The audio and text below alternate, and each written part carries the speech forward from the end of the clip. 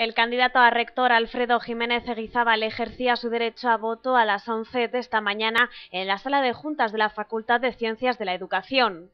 El catedrático de Teoría e Historia de la Educación de la Universidad de Burgos ha destacado que se trata de un día importante donde la comunidad universitaria tendrá la posibilidad de elegir entre dos programas electorales. Para Jiménez Eguizábal, la campaña electoral ha servido para abrir debates en diferentes círculos académicos, lo que ha dado como resultado unos días muy intensos.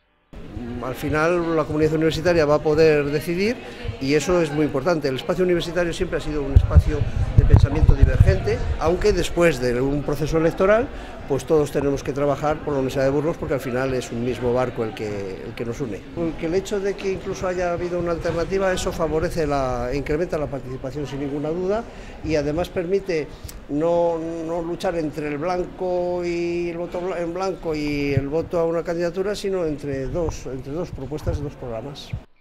El catedrático considera que esta jornada de votaciones será bastante participativa, ya que el simple hecho de tener dos candidaturas incrementa la participación.